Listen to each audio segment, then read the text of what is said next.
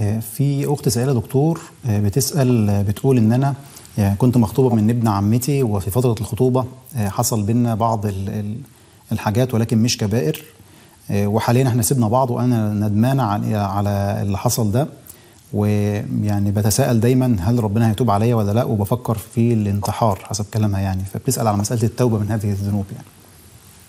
يعني إذا اقترف الإنسان معصية سواء من الصغائر أو من الكبائر فلا يقنط من رحمة الله عز وجل. قال تعالى قل يا عبادي الذين أسرفوا على أنفسهم لا تقنطوا من رحمة الله. إن الله يغفر الذنوب جميعا. جميعا. ما عدا إن الله لا يغفر أن يشرك به ويغفر ما دون ذلك لمن يشاء.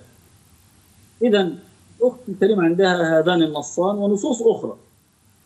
لا تغلق باب التوبة أمام نفسها. ومهما ارتكب الإنسان من خطأ يتوب.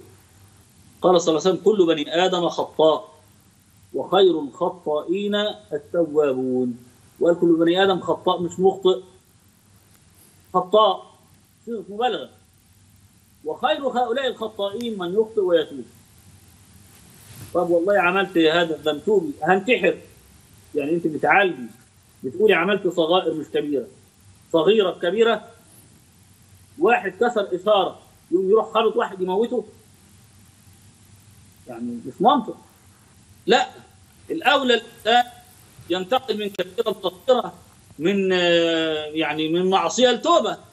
الانتحار ليس علاجا وليس حلا. بل للأسف أنت ترتكبين كبيرة قد تودي بك إلى مش قد تودي ستودي بك إلى نار جهنم لكن ليس خالدا فيها. إنما مؤكد إنك عاقبين فلماذا هذا الأمر؟ ليه؟ على إيه؟ إذا كان عشان خاطر هو ابن عمتك اللي خطبك ده سابك وراح غيرك. طب ما أنت الاولى إيه؟ تتفق نفسك في رضا ربك عنك بالتوبه إلى الله والتائب من الذنب كمن لا ذنب له كما قال المصطفى صلى الله عليه وسلم عليه الصلاة والسلام